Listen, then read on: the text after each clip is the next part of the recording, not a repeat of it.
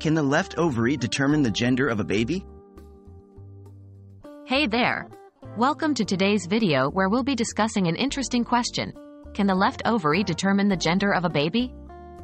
Let's dive right in and explore this topic together. Understanding the role of ovaries.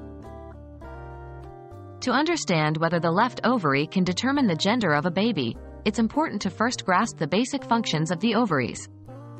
The ovaries are a crucial part of the female reproductive system and are responsible for producing eggs, or ova, as well as certain hormones like estrogen and progesterone. The X and Y chromosomes. Now, let's talk about how the gender of a baby is determined. Human beings have 23 pairs of chromosomes, and one of these pairs determines an individual's sex.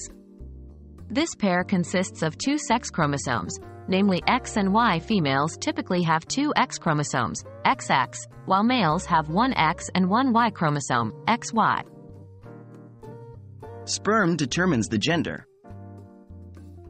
Contrary to what some may believe, the gender of a baby is actually determined by the sperm cell, not the ovary. When fertilization occurs, a sperm cell carrying either an X or a Y chromosome joins with the mother's egg, which always carries an X chromosome. If the sperm carries an X chromosome and fertilizes the egg, the resulting embryo will be female, XX.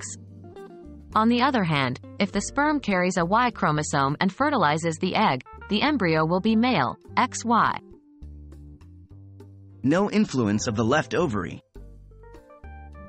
To address the initial question, the left ovary, or any ovary for that matter, does not have the ability to determine the gender of a baby. The ovary's role is to produce and release eggs, but it does not influence the genetic makeup of the sperm or the resulting gender of the baby. In conclusion, while the left ovary plays a vital role in the female reproductive system, it does not have any influence on determining the gender of a baby. That responsibility lies with the sperm cell, specifically the presence of an X or Y chromosome within it.